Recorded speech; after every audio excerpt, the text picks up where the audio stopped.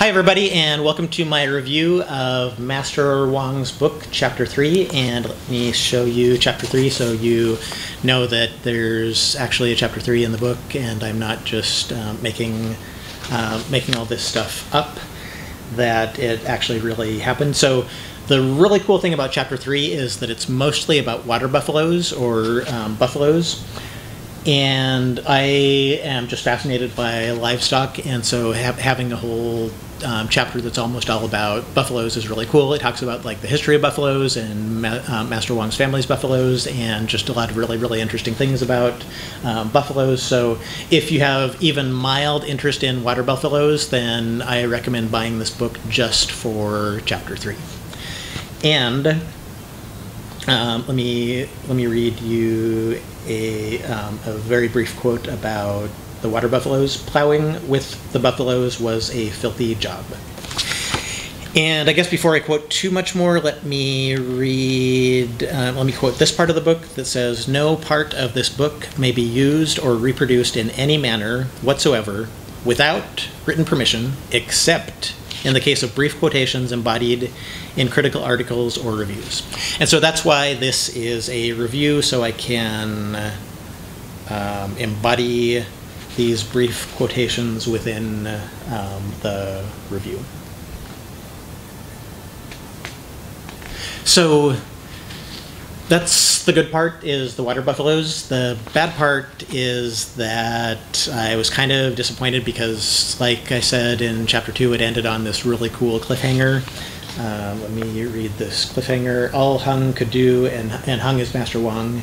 If you didn't know, oh, and let me let, me read the let me read the quote uh, like this so you can see Master Wong as I'm reading it. All Hung could do was lie on the bed and worry about the boys coming back to finish the job.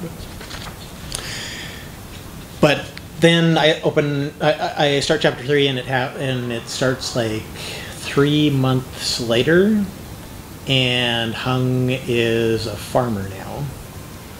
So, anyway, I was kind of um, deflated with the cliffhanger at the end of chapter two.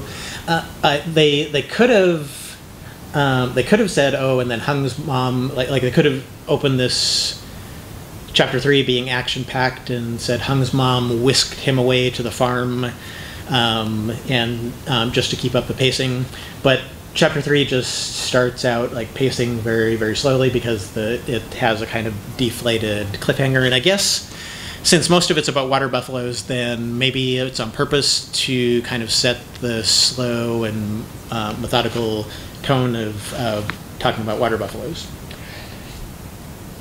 And um, I have to warn you, and before I warn you, I need to give you a warning about my warning because I'm going to be warning you about the curse words in this book. So if you don't want to listen to me saying curse words, then please turn off this, this video.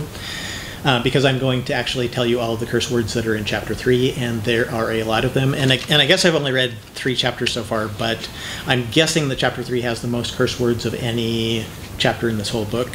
So the, um, these are the um, after warning. Um, like I said, please turn turn this off if you don't want me to be telling you curse words. But these are the curse words: bastard, shitty, fuck off, fucking, piss off, prick, and then a whole bunch of racial racial slurs, which I'm not going to mention for this uh, for the purposes of this video. So oh, and so anyway, there's the uh, there's the water buffalo scene, and then there's an action scene um, toward the end of the chapter, which is really exciting and, and interesting. But it kind of follows the same pattern that I that I read in a previous chapter, which is that Master Wong is almost dead, and then something happens, and then the guy he's fighting like is really almost dead, and then Master Wong just kind of walks away, um, a little bit um, unnerved, and it makes for a really cool action sequence.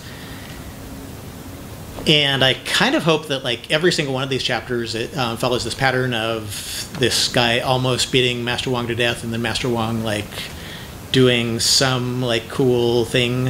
Um, I I really hope that it does because that's really, really interesting. But it kind of reminds me of something that I heard once about getting into street fights, and it goes something like if you're the one that's always getting into street fights, then maybe you. And, and and I can't I, I can't remember how that goes, but like something about something about street fights, and and I guess it's really cool if you want to read about um, street fights because this uh, that's basically what this is. Oh, and so and um, the very end of the chapter also ends on a cliffhanger. So I'm so I'm going to read this, and uh, but this time I'm not. Um, I'm not gonna like set myself up to, for disappointment. It's a really really cool cliffhanger, but it might like skip forward like a year or two in the future, and we, we might not even. Oh oh, but but I guess this is a skip proof in the future proof or skip forward in the future proof um, cliffhanger because it says it could not be any further from the truth. The bigger Hung got, the bigger the bullies became. So I don't know if um, Hung is going to fight a giant or like some like tech robot, but that would be really really cool, and that's kind of what I'm hoping for.